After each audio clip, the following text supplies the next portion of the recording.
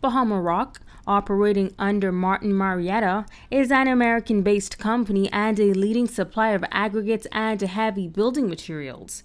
The Minister of Labor, the Honorable Dion Foulkes, along with a delegation, toured that facility to speak with employees and to gain an understanding of operations. Minister Foulkes says he is very pleased with the ratio of Bahamians and non Bahamians at the company. We have approximately 86 full time employees of which 82 are Bahamian and 4 are non Bahamian.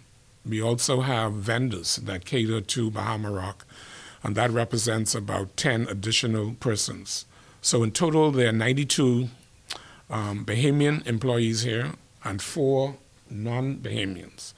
I think that's probably one of the best ratios that, um, that, that, that, that I've seen in a very long time. General Manager Lance Brown says that the company is very pleased to work along with the various agencies under the Department of Labor, which help in facilitating the training of and placement of Bahamian employees. He says they fully understand the importance of being an integral part of the Bahamian community and economy. We are excited about the opportunities that we bring to the island and our training that we do with um, the um, BNT, with uh, the NTA, and so on and so forth. We, we've we've done quite a bit of training, and we um, we we've uh, hired quite a few of those individuals as well, and so. Um, the, the sponsorship there is, is something that we, we enjoy doing, and we know that the youth are are very important to the success of this island and for the for, for the country. Members of Parliament Pakesia Parker Edgecombe and Iram Lewis also were part of the delegation.